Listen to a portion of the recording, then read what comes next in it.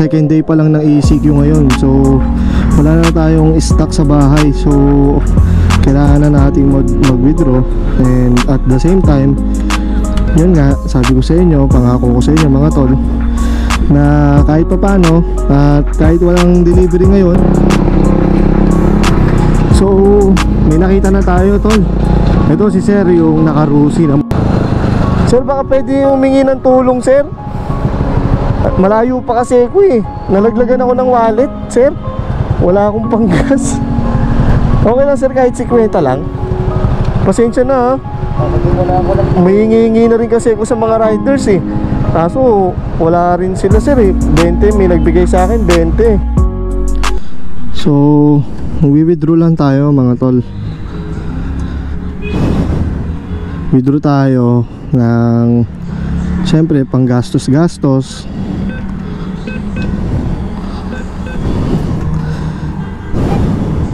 Dahil second day pa lang ng ECQ ngayon So wala na tayong stock sa bahay. So kailangan na nating mag, mag-withdraw. And at the same time yun nga sabi ko sa inyo pangako ko sa inyo mga tol na kahit papano at kahit walang delivery ngayon wala tayong transaction ngayon hindi pa rin tayo magsasawang tumulong no? Maghanap tayo ngayon ng desi- deserving no na masisipag sa kalsada na katulad natin dati no alright So, yun. Balitaan ko kayo mamaya mga tol. Okay?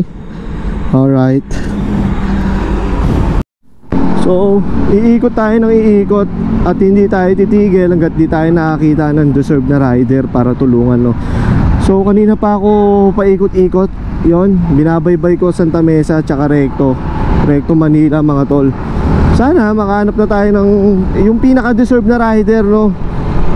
pinagpe-pray ko sana yung mapili natin is talagang uh, hirap no lalo na yung mga matatanda yung mga uh, hirap sa buhay no na patuloy lumalaban at nagsisikap no para sa kanilang mga pamilya so hindi ako titigil mga tol. Maghahanap tayo at maghahanap ng pinaka deserve na rider no? So pasensya na kayo kung hindi man lahat kayo mga paps is matutulungan agad natin no? Lalo na't ngayon eh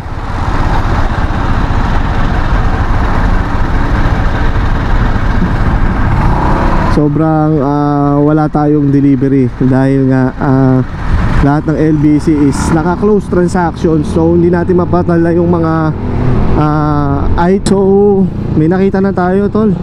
Ito si sir yung nakarusi na motor. Yan, kabigote ko to mga tol. Alam niyo naman mga tol uh, Mr. Speedy ako before no? So, gagawa tayo ng konting social experiment kay Pops no? Ayan, nakikita ko. Naaalala ko yung sarili ko dati no Ganyan na ganyan ako mga tol Sa initan, sa gitna ng pandemic. Bimidiscarte ako Naging Mr. Speedy ako no? So, gawa tayo. Kunyari, uh, naubusan tayo ng panggas. Uutangan natin si Paps mga tol. Titignan natin at susubukin natin yung kabutihan niya no?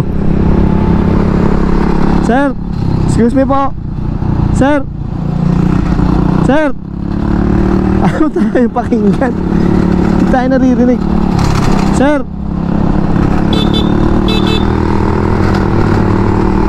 Sir.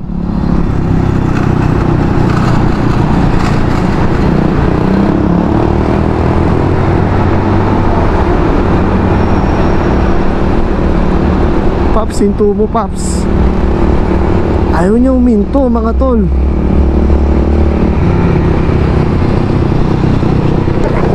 Sir, excuse me po Sir, baka pwede humingi ng tulong sir. Malayo pa kasi ako eh. Nalaglagan ako ng wallet, sir. Wala akong panggas. Okay lang sir, kahit 50 lang. Pasensya na ha. May hingi na rin kasi ako sa mga riders eh. Kaso wala rin sila sir eh. 20 may nagbigay sa akin 20 Nawalan lang ako ng wallet sir. Bibigay ko lang din Kunin ko na lang Facebook mo sir. Pasensya ka na sir ha Hindi ako makakauwi eh Ah Sige po, pasi... Ah, sige po, pasensya na po. Okay po. Okay po. Nalaglag yung wallet. Tol. So, bumubunod si Pops. Hindi niya tayo natiis mga tol, oh. Kita mo, oh. Ayan, bumubunod na siya mga tol. So, hindi niya tayo natiis, no. Sabi niya sa akin, wala daw siyang pera. Ah. Ay, salamat po, sir. Salamat po. Tol, binigyan niya tayo kahit 20, no. Malaking bagay to, tol. Dahil nakita ko yung hirap ni Pops, wala talaga siyang pera. Kasi kakasimula niya lang, no. So, dito na natin gagawin yung social experiment, no.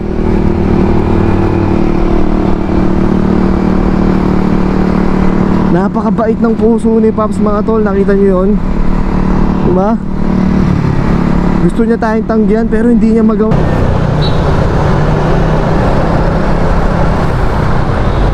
Alright. So ito. Sir, maraming salamat sa tulong mo ah.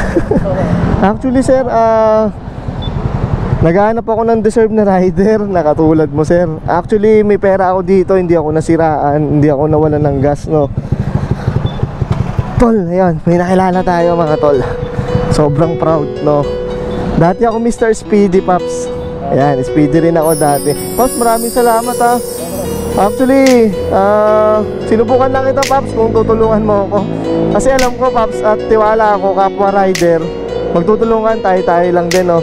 So maraming salamat Paps Babalik ko yung binigay mo sa akin 20 Kahit pa paano napakalaking tulong nito para sa para sa mga kapwa riders Napakabuti ng puso mo Paps. Maraming salamat.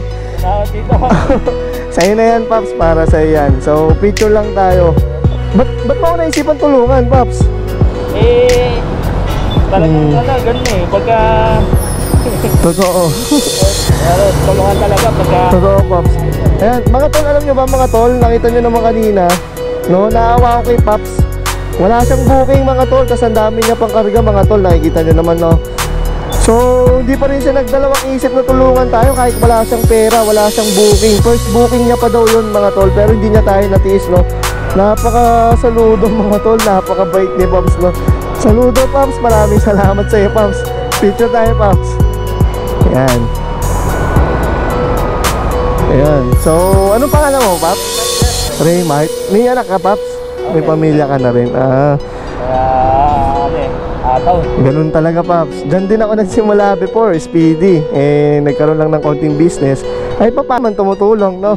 Paps, maraming salamat sa iyo. Mag-iingat ka. Salamat dito, sir. Okay, mag-iingat ka, sir. Maraming salamat.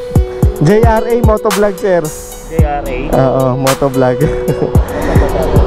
wala eh. Wala dito eh. Hindi nakalagay. Ayun. Ano ako na... So, ito, Quezon City pa dalawa ng trucks eh. Ah, pa-QC ka. Booking mo nga ito eh. Ah, Yung dalawang payment. oo. So, Paps, mag-iingat ka palagi ha. Maraming salamat. Saludo sa iyo, Paps. Okay.